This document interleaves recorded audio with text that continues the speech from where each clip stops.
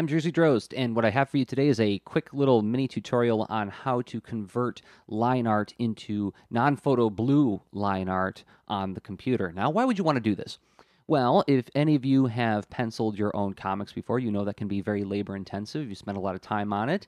And uh, if you ink right on top of those pencils, uh, you can find yourself in a situation where you may mess up or spill the ink bottle over top of your pencils and you have to start all over.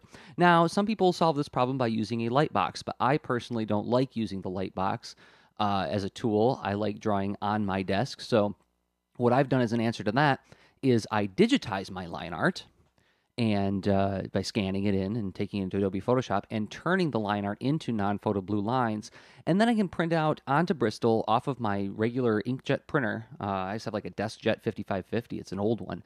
Uh, I just run uh, just a blank piece of Bristol through, uh, print it out in uh, the blue lines, and I can ink it as many times as I want. this can give you lots and lots of original artwork, or if you have a mis- make a mistake on the art, you spill the ink bottle onto your artwork, no problem. Just print out another one.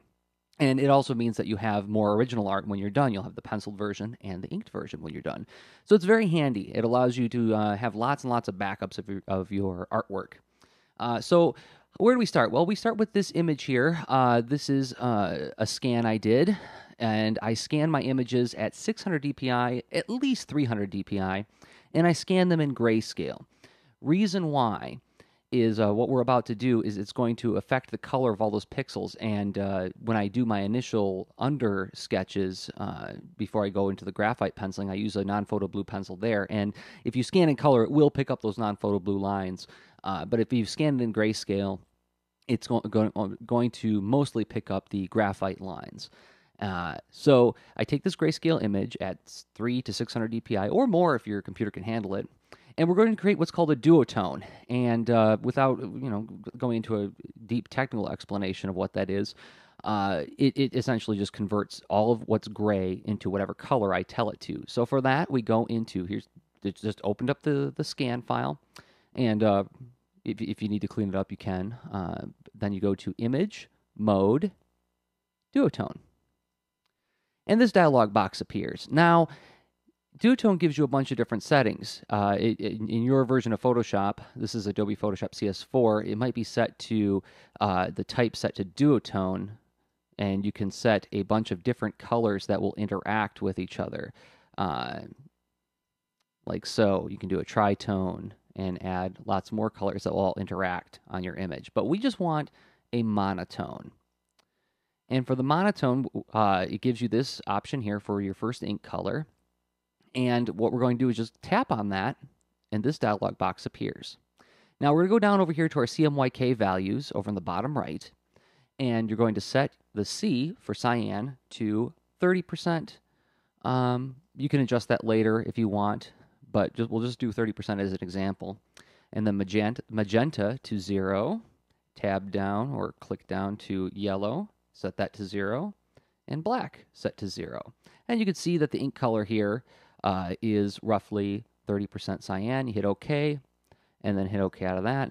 And now all of our line art has been converted to essentially non-photo blue, uh, meaning that if I print this out on a piece of Bristol and ink over top of it, I can scan it, and with a quick switch of, uh, of playing around with the levels or the, uh, the threshold uh, after I've scanned it, I can knock out all that blue and only the ink lines will show. Now, when you use the duotone mode, let's go back in the history palette to when I opened it. When you go back to duotone, this cyan value, you can adjust it to whatever you think is best. You could go 50% cyan if you want, if you're worried about the darkness of the lines not showing up. If you're worried about losing some of this detail and not being able to see it afterwards, you can set it at a higher value. But the higher value you set the cyan to, the more difficult it's going to be to get those blue lines to vanish when you've scanned the inked image. So I usually go around between 25 to 30% for my cyan value.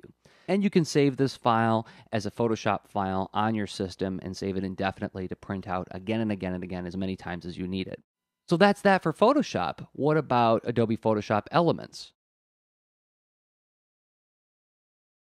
Now we're going to do this in Adobe Photoshop Elements, which is a little different than regular Adobe Photoshop. There's a little bit of a workaround involved, and it doesn't quite make your image a duotone, but it achieves the exact same effect uh, for our purposes here.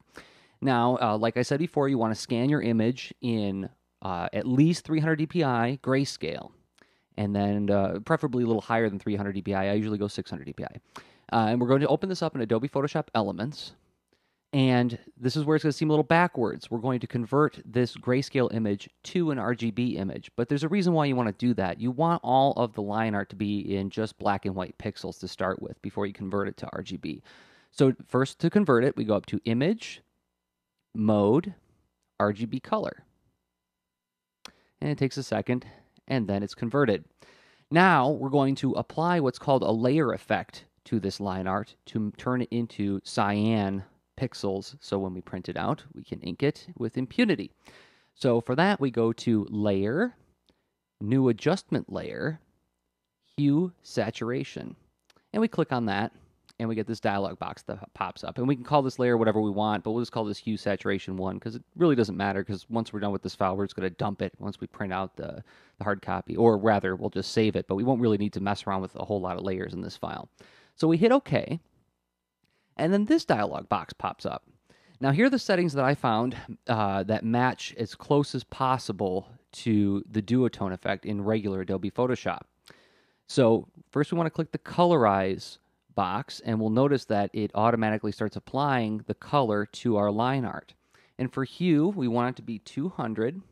You can see we can move the slider around, and it'll apply all sorts of different shades to our line art. But what I found is that 200 works about the best you're going to get to get this cyan look. For the saturation, we want to go all the way over to the right. So 100 for the saturation. And then we want to lighten it a little bit because you can see this isn't quite, this is a little dark. This is this is going to show up if we scan this line art later on, even if we ink over top of it. So we want to set the lightness to somewhere between 80 and 90. If you see, if I switch it to 80, now it looks like the duotone effect I did on the same image beforehand. So, okay, well, I hope this has been helpful to you. Uh, and uh, if you have any questions, you can reach me at comicsaregreat.com. There's a great uh, link at the top of the page uh, that says contact, you can ask me any questions. I'll be glad to help you out in any way I can with uh, these comics pursuits. So thanks for watching. I've been Jerzy Drozd of comicsaregreat.com. Okay, bye.